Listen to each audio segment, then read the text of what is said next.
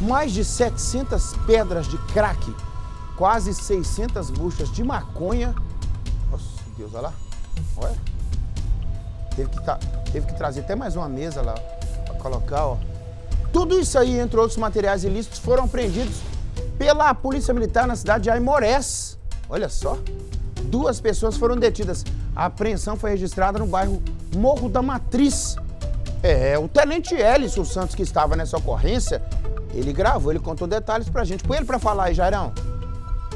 A Polícia Militar, ciente que ocorre intenso tráfico de drogas no Morro da Matriz, em Aimorés, realizou uma operação em que, após o monitoramento prévio, foi apreendida grande quantidade de drogas, preso um maior de idade e apreendido um menor de idade.